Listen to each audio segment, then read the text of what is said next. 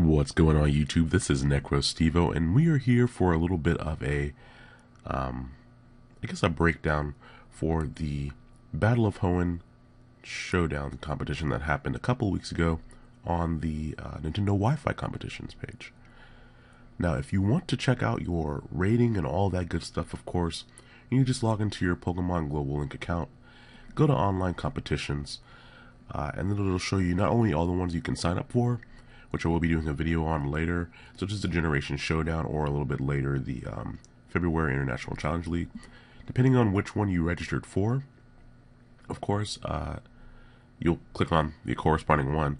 But they have some really, really nice data available online for these. So um, not only can you see your ranking if you just want to click on your own ranking, um, I was actually pretty happy with my overall ranking.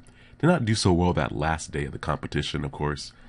But uh, my ranking, of course, being ranked 2,000 out of probably some 50,000 applicants. I think that's where they made the cutoff.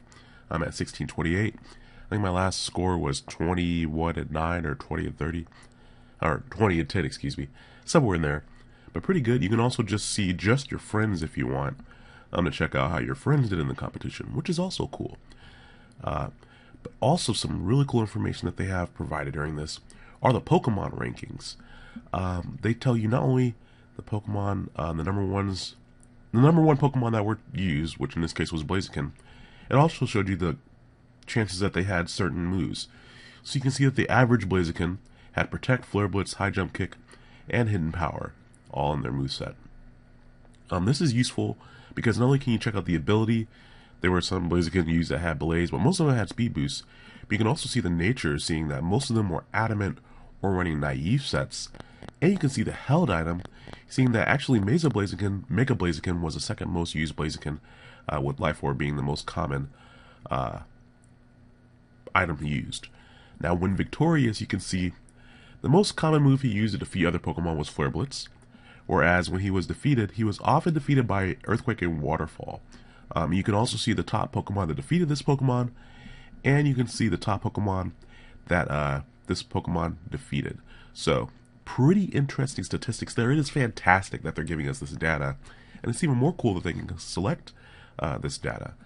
Um, of course, it's also great to just pop in and see the rest of the Pokemon there. I'm actually pretty interested to see uh, how many Salamence, or wow, most Salamence were Mega Salamence. That's really interesting. With the next item you use being Choice Scarf, I would guess that uh, Intimidate was probably a little bit more uh, popular, or a lot more popular rather, than Moxie. Um, and it's going to be interesting. Again, Adamant, the most common nature for the Salamence, used with Jolly following close and behind there. I'm going to guess when Salamence was defeated, it's probably some Choice Scarfers, maybe. Uh, Ice Punch was the most common move to defeat a Salamence. Salamence was the number one Pokemon to defeat other Salamence. That's pretty interesting. Um, oddly, Magnezone is in there as well. I didn't, I wouldn't expect that. I guess there was some Magnezone carrying Hidden Power Ice in there. Um, and Salamence was most often used to KO other Breloom and Salamence. Not surprising there. Um, and just so that we cover the top three, we can check out Metagross as well. Of course, you guys can go in and check out these yourself. But Bullet Punch was on most of them. Uh, Bullet Punch, Ice Punch, and Zen Headbutt, and Earthquake there. Interesting that most people went for Bullet Punch and uh, for with the usage of Meteor Mash, of course, Meteor Mash has that chance to miss, so I don't really blame them. Uh, of course, Clear Body used on most Metagross. I'm not sure why you would use Light Metal, although I guess if you're Mega Evolving, it won't matter, because number one held item was easily Metagrossite, with the second one being Safety Goggles, and not seeing that item coming there. Um, most common nature was Adamant, not surprising there. I have run into a few mixed Mega Metagross, not very many. Alrighty. When, let's see, Metagross actually handles a lot of things in this list relatively easily with those top four moves.